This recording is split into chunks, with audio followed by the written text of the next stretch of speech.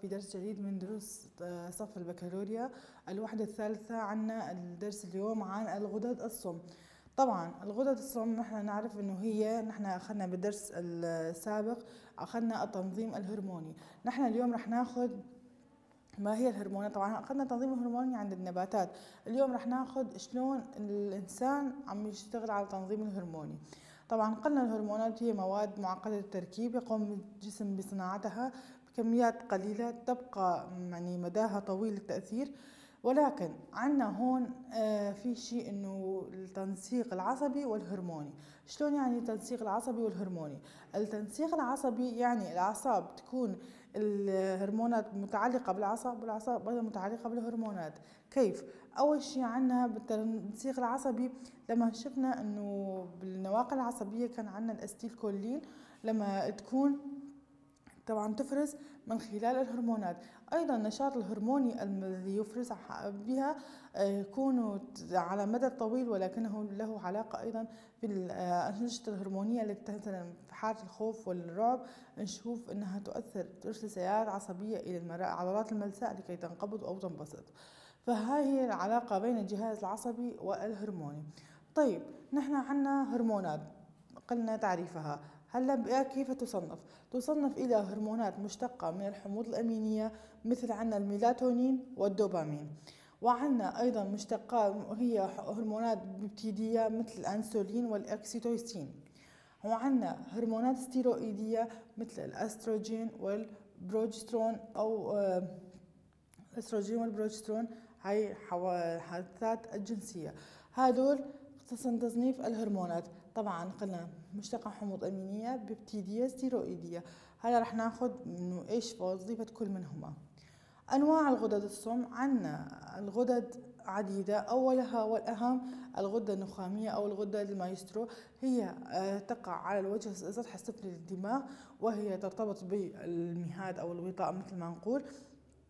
طبعا أو مثل ما يسمونه علميا هيباثالاموس ويكون لها تأثير قوي لها ويرتبط بتحت المهاد بواسطة السويقة المخية طبعا أقسام الغدة النخامية تقسم إلى ثلاث فصوص أمامي وخلفي أمامي غدي متوسط وخلفي عصبي هلا العلاقة بين تحت المهاد والغدة النخامية إيش العلاقة بين تحت المهاد والغدة النخامية؟ توجد في تحت المهاد مجموعة من الخلايا العصبية المجموعة الأولى وين تروح محاورها؟ أول مجموعة الفصل الخلفي تروح على الفصل الخلفي إيش تفرز؟ طبعا هاي مهمة الفصل الخلفي إيش وظيفتها هرمون مضاد للإبالة ADH وهرمون الإكسيتوسين طبعا ال ADH اسمه هرمون مضاد للإبالة. يعني إيش معناته؟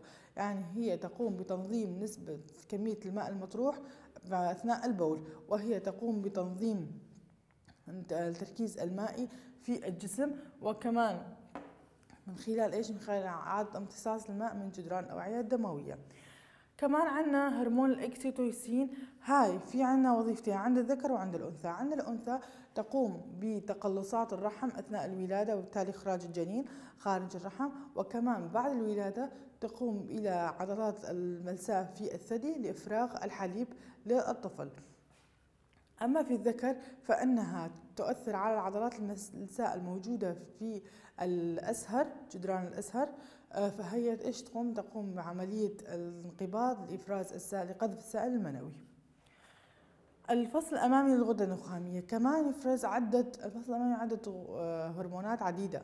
منها أول شيء هرمونات النمو حيث تشكل غضاريف النمو التي تساعد على زيادة طول الإنسان أو الكائن.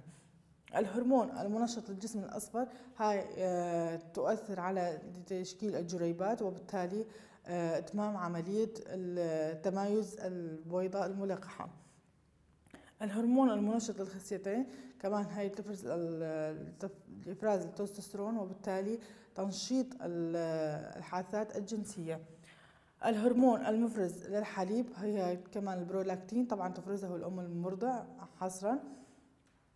الهرمون المنشط لقشرة الكظر والمنشط للغدة الدرقية والمنشط لخلايا الميلانين. الميلانين طبعا نحن نعرفه إنه هو المسؤول عن سمرة اللون وإعطاء صباغ للبشرة.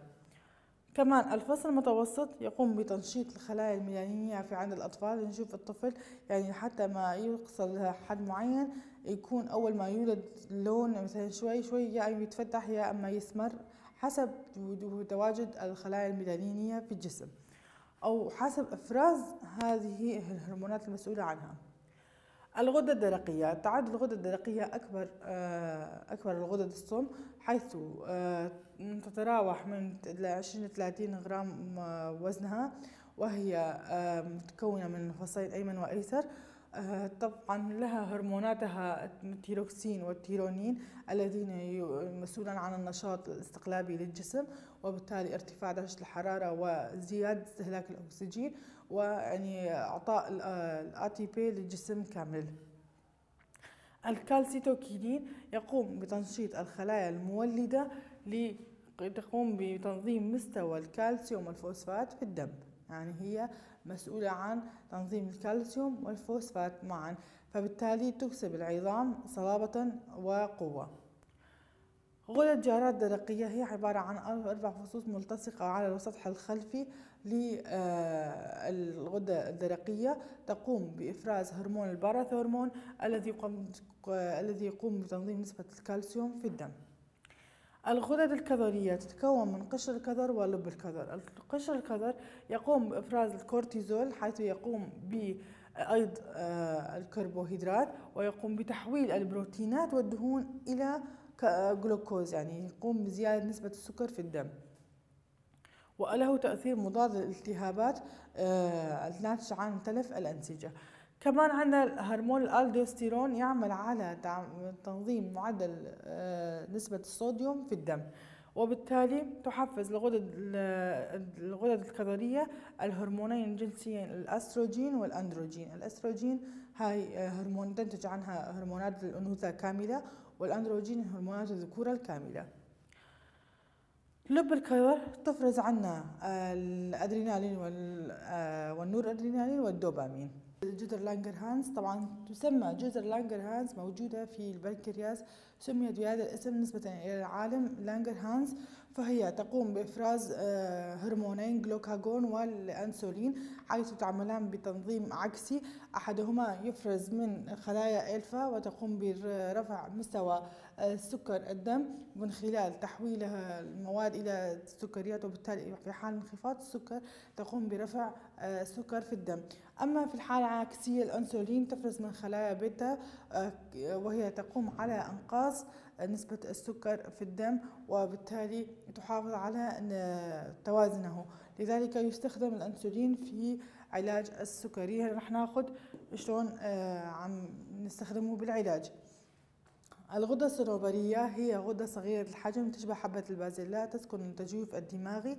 آه، طبعا هالغدة هاي وظيفتها تقوم بإفراز الميلاتونين حيث تقوم أهم وظائفها لها دور في تفتيح البشرة وتعمل كالمؤقت يعني ساعة الاستيقاظ يعني نحن نشوف هلأ الطيور تكون الطيور المهاجرة. لما تجي فترة الهجرة نشوف لحالها تبلش آه، بدها تهاجر. ليش؟ بسبب آه، الساعة البيولوجية الموجودة في الدماغ وهي التي تقوم آه، بالتحكم بها الغدة الصنوبرية عندنا هلأ هرمونات القناة الهاضمة.